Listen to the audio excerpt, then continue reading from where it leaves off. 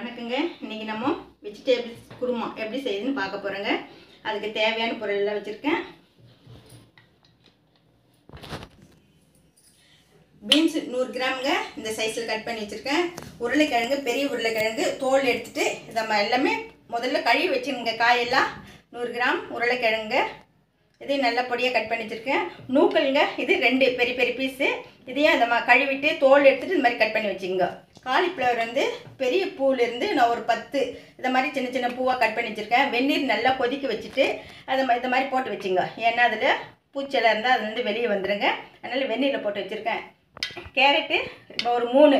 அதையும் தோல் எடுத்துகிட்டு இந்த மாதிரி கட் பண்ணி வச்சுங்க தக்காளி நாட்டு தக்காளி ஒரு பெரிய பெருசாக ஒரு ரெண்டு. அதையும் இந்த மாதிரி கட் பண்ணி வச்சுங்க வெங்காயம் தாளிக்கிறதுக்கு நான் வந்து பத்து சின்ன வெங்காயமோ ரெண்டு கா பச்சை மிளகாய் இந்த மாதிரி பழுத்து இருந்தால் ரொம்ப நல்லா இருக்கும். அதனால் அது வச்சுருக்கேன். பெரிய வெங்காயம் ரெண்டு இந்த மாதிரி கட் பண்ணி வச்சுருக்கேன். தாளிக்க கருவேப்பிலை கொத்தமல்லிங்க வெறும் மிளகாத்தூளுங்க ஒரு ஸ்பூன் வச்சுருக்கேன். சாம்பார் பொடி வந்து ரெண்டு ஸ்பூனு.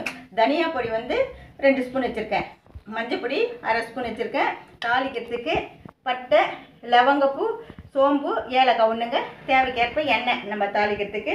என்னென்னு தெரிஞ்சுங்க. நம்ம எப்போ இந்த மாதிரி குழம்பு வைக்கும் போதெல்லாம் இஞ்சி பூண்டு வந்துங்க ஃப்ரெஷ்ஷாக அரைச்சி போட்டால் குழம்பு நல்லா டேஸ்ட்டாக இருக்கும். அதனால் நான் இப்போ தான் இதை அரைச்சி வச்சுருக்கேன்.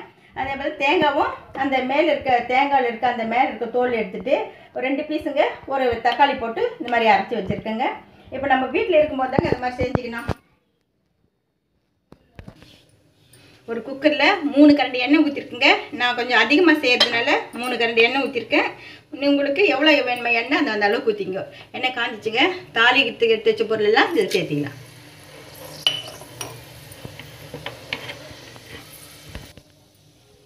வெங்காயம் சேர்த்திக்கலாங்க. வெங்காயம் வதங்கிச்சுங்க. கருவேப்பிலை சேர்த்துக்கலாம். இந்த இதுலேயே தக்காளி சேர்த்துக்கலாம் கொஞ்சம் கல் உப்பு சேர்த்துக்கலாங்க. அப்போ தான் சீக்கிரமாக வதங்கும்.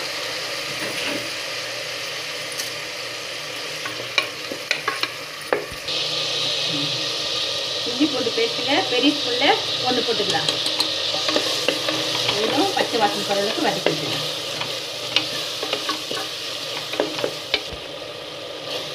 வெங்காயம் தக்காளி இஞ்சி பூண்டெல்லாம் நல்லா வதங்கிட்டீங்க. பச்சை வாசனையும் போயிடுச்சு.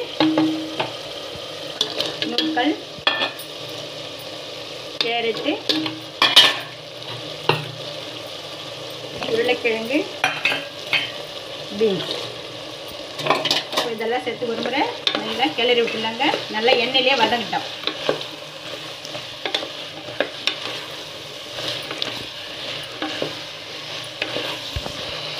காயெல்லாம் எண்ணெயில் நல்லா வதங்கிட்டீங்க.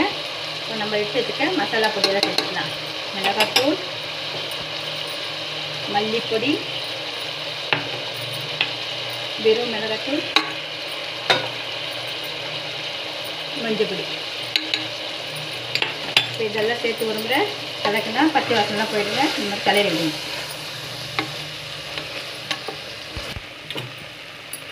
நம்ம போட்ட காயெல்லாம் நல்லா எண்ணெயிலே வதங்கிச்சுங்க இப்போ நம்ம அரைச்சி வச்சுருக்க தேங்காய் பேஸ்ட்.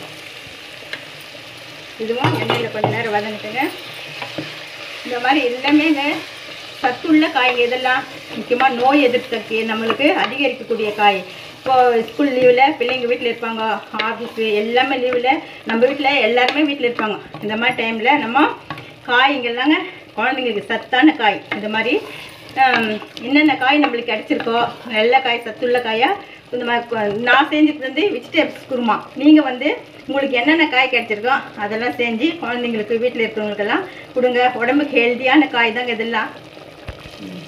முதல்ல வந்து நம்ம வெங்காயம் தக்காளி வதங்கிறதுக்கு உப்பு போட்டோம். இப்போ குழம்புக்குங்க அந்த அளவுக்கு சேர்த்து போட்டுங்க இப்போ இதில் கொஞ்சம் தண்ணி விட்டுக்கலாம். நம்ம தேங்காய் அரைச்சிடுங்க. அந்த இதில் வந்து அலசி இது மாதிரி ஊற்றிக்கங்க இப்போ ஒரு விசில் தாங்க விட போகிறேன் இதை. இப்போ நல்லா இது மாதிரி கிளறி விட்டுட்டு மூடி போட்டு ஒரு விசில் விட்டு இறக்கணும் ஏன்னா காயெல்லாம் கட் பண்ணி வச்சுட்டு இருக்கோம் சீக்கிரமாக வெந்துடும் ஒரு விசில் விட்டுங்க. நல்லா வெந்துச்சுங்க. காயெல்லாம் இது பாருங்க. கரையாமல் அப்படியே இருக்கு பாருங்க. அதனால தான் ஒரு விசில் போதும்.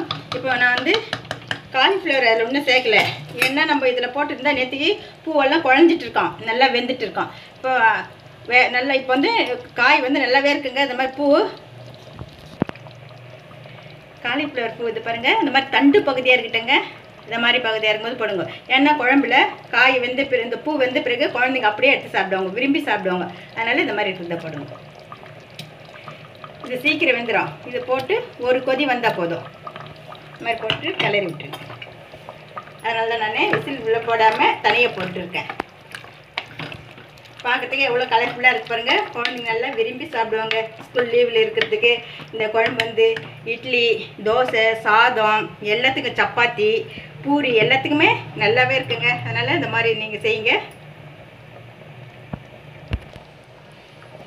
காலிஃப்ளவர் நல்லா வந்துச்சுங்க பூ அப்படி அப்படியே இருக்குது பாருங்கள் குழையாமல் இருக்கு பாருங்க. இதை நம்ம கொத்தமல்லி சேர்த்திக்கலாம். வெஜிடபிள் குருமா ரெடி ஆயிடுச்சுங்க. இந்த மாதிரி நீங்களும் செஞ்சு பாருங்கள் இந்த வீடியோ பிடிச்சிருந்தா லைக் பண்ணுங்கள் ஷேர் பண்ணுங்கள் சப்ஸ்கிரைப் பண்ணுங்கள் நன்றிங்க.